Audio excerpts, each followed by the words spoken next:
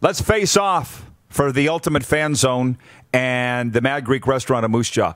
The, the top 10 names, the finalists, it seems to me, for the Edmonton football team are the Edmonton Elk, Empire, Eagles, Energy, Elite, Edge, Express, Extreme, Explorers, Evolution. Viewer Randolph Zora says, Does the Edmonton Football Club have to have a nickname that starts with E? They do, because they don't want to change the logo. The EE. I'm not moving off Empire. I hope the president of the Esks and the board, whatever they're going to call themselves, have a change of heart because Empire. That will appease the old longtime fans because that was the nickname.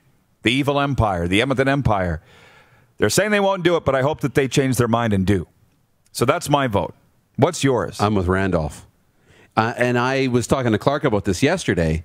Not that I think it needs to be something other than an E. I like the idea of being able to keep the logo. But if you really want to move on and change, at least do the due diligence of opening up some other possibilities. Don't just close it off. Now, I know that might be a longer process, but do the due diligence. You might come up with something really amazing that doesn't start with an E. At least do the work to, to give it a shot. That's what I have an issue with. But I don't. I like Empire if they do go with an E name. But I, w- I would have liked to see them at least come up with something different. Gary Mahura, my longtime stats guy out of Alberta. He's watching. Thank you, Gary, for watching. And the uncle of Josh Mahura, Anaheim Ducks defenseman, mm-hmm. says Empire. We all say Empire. Can we please have the Empire? What's it going to take for it to be the Empire? And the Edmonton Elk doesn't exactly, let's go, Elk! No. Monty did say Bears. I did see the logo where they turned the last E into a B. Ties in with Golden Bears. The whole city can be Bears football.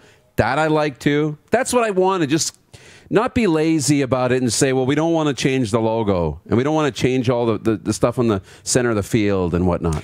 Mandy, can you put that comment up? She says, Rod, no offense, but I think you need to be day of age. It's like what the Saskatchewan Roughriders marketer you had in said, you have to be modern and listen to the fans. Empire will offend some, whether you like it or not. We'll continue this over into hour two. This has been the face-off for the Ultimate Fan Zone of Mad Greek. We're coming up on Game Plus with Sam Cosentino and Rob Faulds, or we'll see you right here.